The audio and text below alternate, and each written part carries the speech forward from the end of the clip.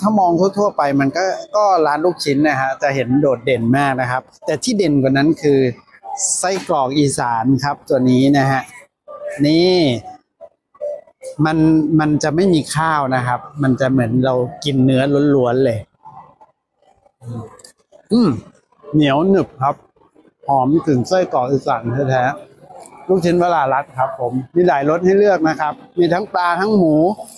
มีครบเลยครับลมควันก็มีนะฮะ อ่าครับผมมาเลือกชิมได้ที่วลารัดแบรนด์นี้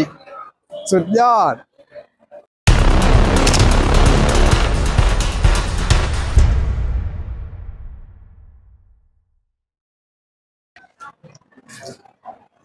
สวัสดีครับ วันนี้รายการเปิดโลกธุรกิจบายคุณชายเคิร์ฟนะครับ วันนี้เรามาอยู่ที่ศูนย์ประชุมแห่งชาติสิริกิตครับ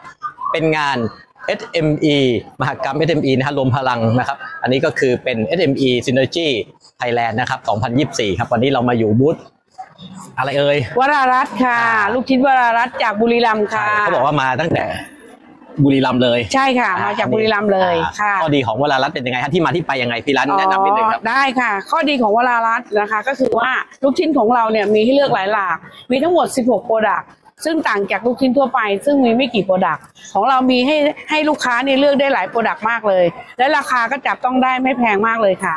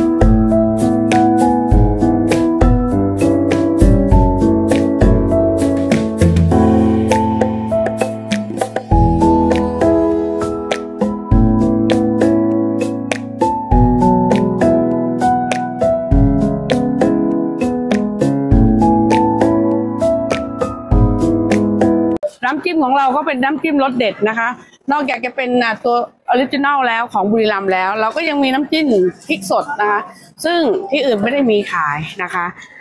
อันนี้สามารถที่จะหาของเราเนี่ยชิมได้ทานได้ตามปั๊มปั๊มปตททั่วทั่วประเทศได้เลยค่ะ เพราะของเราจะอยู่ในปั๊มปตทค่ะ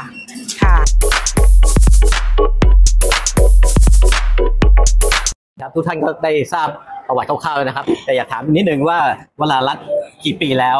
แล้วที่มาที่ไปทำไมอยู่ดีๆเอ่อถึงมีวลารัตน์ได้ถึงปัจจุบันครับ ค่ะ ก็คือว่าเมื่อก่อนนี้ก็หลายสิบปีให้หลังไปนะคะ ทางอ่า บริษัทวรารัตน์เนี่ยนะคะก็คือขายเป็นเขียงหมูขายหมูนะคะ คุณพี่เนี่ยเขาจะขายหมูตอนนี้หมูมันเหลือครับก็เลยเอ๊ะจะเอาหมูไปทำอะไรอืมพี่เขาก็เลยเออถ้างั้นก็ลองทำลูกชิ้นดูอ่าตามทำลูกชิ้นตามที่ของเหลืออ่าก็คือทำหมูมาก่อนค่ะอ่าทำหมูแล้วก็ทำลูกชิ้นครับพอนั้นนั่นปุ๊บเนี่ยมันก็ได้การตอบรับจากในละแวกข้างๆกัน ก็เลยเอ๊ะถ้างั้นทำลูกชิ้นดีกว่าครับพี่เขาก็เลยทำลูกชิ้นขายในส่งตลาดทั่วๆไปนะคะ หลังจากนั้นมาก็เลยอืม ลูกชิ้นก็คือลูกชิ้นมีแค่สองสามอย่างอ่าตอนแรกมีพี่สามอย่างก่อนอ่าครับพี่เขาก็เลยคิด เอ๊ะเราจะทำแฟรนไชส์ดีไหมคือกระจายออกไปข้างนอกดีไหม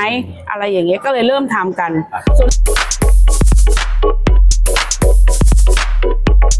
เรื่องว่าที่มาที่ไปของวรารัตน์เมื่อก่อนเนี่ยพี่เขาทำเนี่ย คือขายดีมากแต่ยังไม่มีแบรนด์ อ่า ก็เลยคิดเอ๊ะเราจะตั้งแบรนด์อะไรดี พี่เขาก็เลยตั้งชื่อแบรนด์ลูกสาวคนโตของพี่เขาอ๋อเป็นชื่อลูกสาวใช่ค่ะชื่อแล้วก็ทำาตแบรนด์ค่ะ ก่อนที่พี่เขาจะทำแบรนด์พี่เขาก็ไปแบบไปเซอร์เวย์ อืมอืม ในแต่ละที่ในแต่ละพื้นที่ครับว่าเป็นยังไง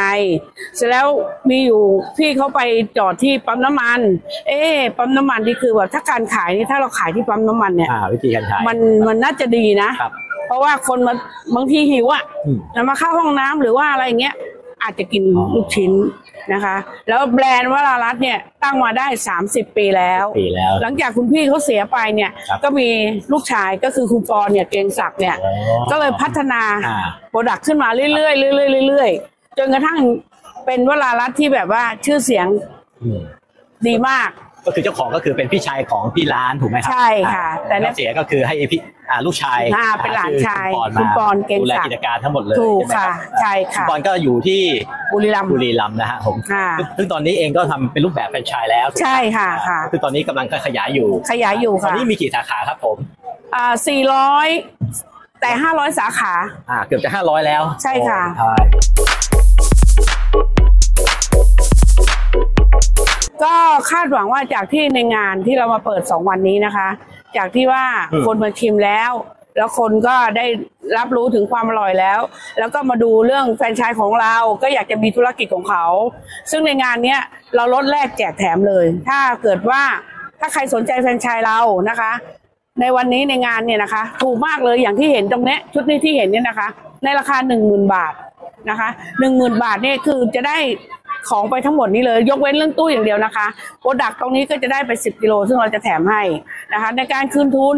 ก็ไม่เกินสองเดือนสามเดือนได้ทุนคืนแน่นอนค่ะ เราก็เลยแบบว่า อืมมาเพื่อที่จะให้คนที่อยากจะมีธุรกิจส่วนตัว คือมีเงินน้อย เงินเงินน้อยในที่นี้คือหมื่นหนึ่งเริ่มต้นด้วยหมื่นหนึ่งคุณก็สามารถเป็นเจ้าของธุรกิจได้นะคะค่ะ อเคครับวันนี้เรามาเปิดโลกธุรกิจกับลูกชิ้นวรารัตน์นะครับ ซึ่งมาจากบุรีรัมย์นะครับ วันนี้มาบุกที่กรุงเทพเลย ก็จะมาถามพี่ร้านนะครับว่า แต่ว่าค่ะตอนนี้กำลังแผนว่าที่จะมาอ่ามีมีสาขาที่กรุงเทพหรือยัง หรือปริมณฑลอ่ามีมียังฮะมีบ้างค่ะ มีบ้างแล้วใช่ไหมค่ะฮะอ่า แต่ว่าที่เราตั้งใจเราอยากได้มีมากกว่านี้ อ่า ก็คือกำลังมาขยายสาขาใช่ค่ะซึ่งอันนี้ก็เป็นงานแรกที่วรารัตน์มาออกใช่ค่ะที่ใช่ชุมชนค่ะเศรษฐกิจนะใช่ค่ะ เพราะเราอยากให้คนกรุงเทพเนี่ยได้รับสิ่งดีๆ เหมือนชาวต่างจังหวัด อ่าอ่านะคะเพราะจริงๆแล้วลูกชิ้นวรารัตน์ดังในบุรีรัมย์มากเลยนะใช่ค่ะรับโซนอีสานก็คือว่โซนอีสานด้วยใช่ไหมครับค่ะเขามี 400 ถึงเกือบ 500 สาขาแล้วนะครับใช่ค่ะใช่ค่ะที่ดูนะครับท่านวันนี้อ่าลูกชิ้นวรารัตน์มาบุกกรุงเทพแล้วเนี่ยมันเป็นโอกาสที่ดีนะครับ ถ้าใครสนใจอ่าธุรกิจลูกชิ้นวรารัตน์ตรงนี้นะฮะค่ะก็จะมีช่องทางติดต่อยังไงครับ อ๋อก็คือเรามีเบอร์โทรแจกนะคะแต่ตอนนี้นี่ก็คือว่า ถ้าจะติดต่อตอนนี้เลยนะคะ เอาเบอร์โทรของคุณร้านไปเลยก็ได้นะคะ 062 ค่ะ 795 ค่ะ 5464 ค่ะนะคะ ถ้าเกิดว่าสนใจในงานนี้นะคะ เรามาให้กับผู้ที่ประกอบการ ที่อยากจะมีธุรกิจเป็นของตัวเองนะคะ เงินหนึ่งหนึ่งหมื่นนะคะหนึ่งหมื่นบาทสามารถเป็นเจ้าของธุรกิจอ่านี้ได้ใช่ใช่นะคะ แล้วก็คุณก็จะขายได้มีกำไรได้แน่นอน แล้วก็สามารถที่จะขยายสาขาของตัวเองได้อีกด้วยนะคะ ลองลองมาดูใช่ครับอ่านะคะยินดีด้วยค่ะเพราะว่าหนึ่งแล้วเนี่ยอ่าตอนนี้ทุกคนบางทีอาจจะมีงบประมาณหมื่นกว่าค่ะนะฮะค่ะไม่รู้จะมองหาธุรกิจอะไรนะค่ะฮะลูกชิ้นวรารัตน์ก็เป็นคำตอบหนึ่งใช่ค่ะที่จะเป็นตัวสร้างรายได้ให้ใช่กับค่ะทุกคนนะฮะตรงนี้ถูกต้องค่ะยินดีนะหมื่คนรับหนึ่งเป็นเจ้าของธุรกิจได้แน่นอน ใช่ใช่ค่ะก็บอกกับเป็นอ่ามหกรรมรวมพลัง s อ b ไทยนะครับตรงใช่นี้แล้วค่ะก็สร้างรายได้ให้กับอ่าอ่าคนที่จะไปขายต่อได้ถูด้วยกต้องนรับค่ะอ่าก่อนอื่นจะจบรายการนะฮะอ่า เรื่องลูกค้าเขาสนใจแล้วเนี่ย การดูแลเขายังไงเออที่สำคัญเลยอ๋อมีคนถามบ่อยมากเลยอ๋อว่าซื้อแล้วจะดูแลเขายังไง เรื่องการดูแลนะคะหนึ่งเนี่ยนะคะอ่าเราดูแลเรื่องคุณภาพของสินค้าอยู่แล้วตั้งแต่ต้นเพราะเรามีโรงงานผลิตเองนะคะครับเพราะฉะนั้นเนี่ยการดูแล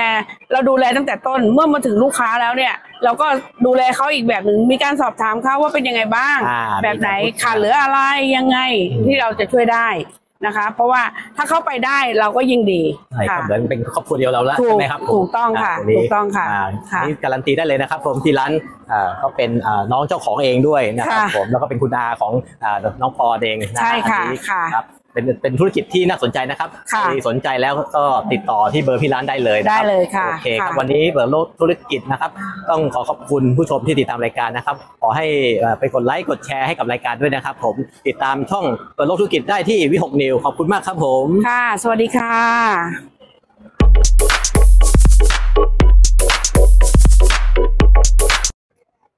อร่อยอะ เดี๋ยวนะหนูจะจิ้มให้สวยๆก่อน นี่ค่ะ อันนี้นะคะ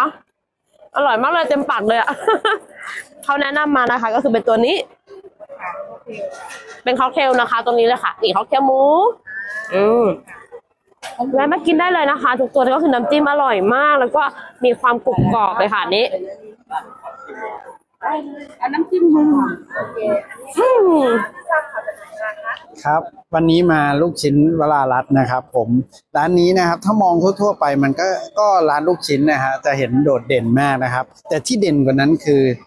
ไส้กรอกอีสานครับ ตัวนี้นะฮะนี่